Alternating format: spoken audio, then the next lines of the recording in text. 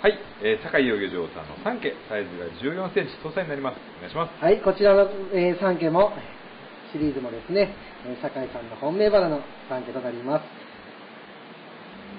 この鯉がですね、もう結構炭がしっかり出始めてきておりますね。結構固まってきております。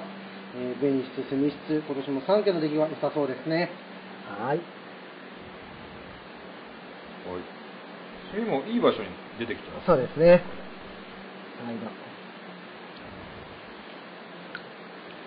はい。いいですね。秋に出てくる搭載はみんなこのまま伸ばしていただいても結構残る鯉が多いので、逆に秋の搭載は、あのーぜひ1匹2匹持たれてもいいかなと思いますよ。は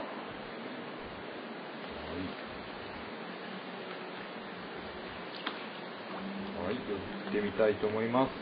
結構しっかりしてますね、この鯉も。